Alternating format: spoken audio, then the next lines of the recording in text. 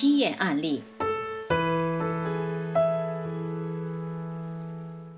朱先生，二十五岁，青海人，用原始点治好了多年的脚病。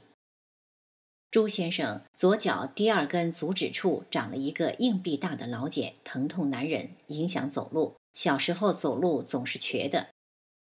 大学时去看医生，医生目诊时鸡眼，做了三次冷冻治疗。冷冻很痛，无效放弃。用过很多治鸡眼的药，如鸡眼膏、大蒜、鸭胆子、高锰酸钾粉末等，大多具有腐蚀性，都是治标不治本，疼痛没有缓解，反而有更严重的趋势。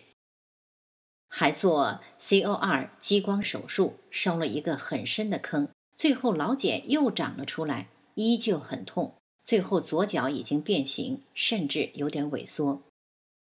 二零一二年三月，做了第二次切除术，病检结果直优。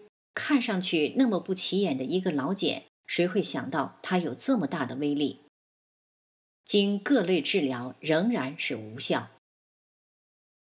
二零一二年十月九号，第一次接受原始点疗法，志工老师直接给我做了足背部原始点。做完后说：“现在你穿上鞋放心走就是了。”我穿上鞋走了两圈，确实一点都不痛了。以前冰冷的左脚也开始有温度了，脚底也开始变得好软好软。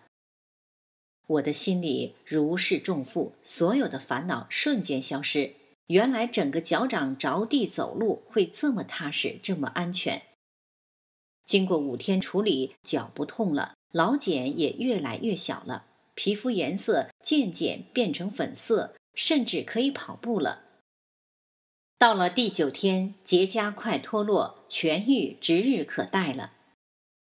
经原始点处理，脚底的老茧越来越小，皮肤颜色渐渐变成粉色，情况愈来愈好。足底前段即将复原，前后九天。